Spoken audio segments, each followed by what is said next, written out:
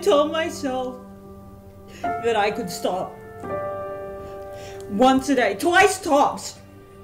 But then the depression, it just kept gnawing and gnawing. And then the pain, I just couldn't take it anymore.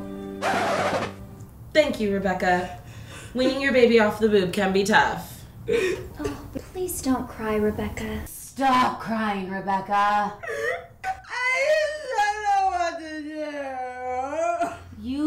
Stop crying. And honestly, I don't even know what the problem was, but the waterworks have to stop. God, Lauren, don't be so heartless. She's dealing with a lot. We're all dealing with a lot. Whatever, let's go. Helena! Lauren had always prided herself on her independence. That is, until she had a baby.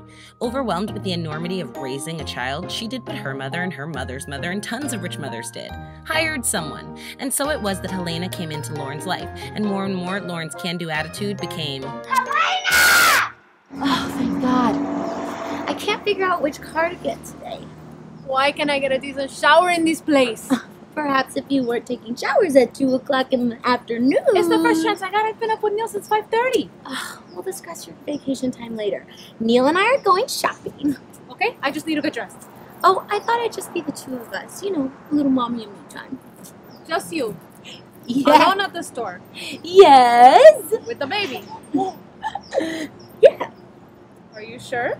Of course I'm sure. He's just a baby. I know that. It's just... You've been out alone with him. I have so. Okay, maybe not. But how hard could it be? You do it all the time with him. But Lauren, what if something happens to him? What's gonna happen? Oh, do you think that if it goes too well that we're gonna not need you anymore? Nope, that is definitely not what I was thinking. Because you are an integral part of this family, Helena. At least until Neil's 18.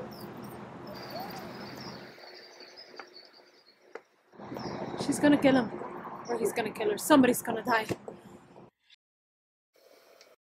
See, Neely, we're okay. Lena can take her rice and beans and shove it, huh? oh, racism is taught, Lauren. Racism is taught. Ooh. Uh, okay.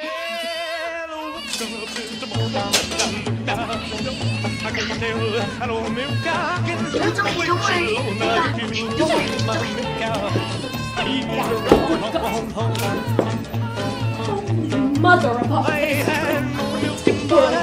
Neil, we just gotta go. Don't worry, it's okay. We got it. Hi. Hi, hi. Hi, um, I have a little bit of an issue going on right now. I was just wondering if maybe you could ring me up without me letting go of these. Will you be needing a bag? Ah, no, thank you. I don't think I will. Lauren had always prided herself on her independence. That's why she was so happy to be independently wealthy. That way, she could afford Helena.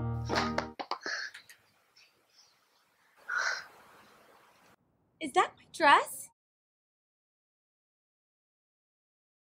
Well, Morning I can tell that old milk cow. I can tell the way she low. Now if you saw my milk cow, he's a rocker on home. I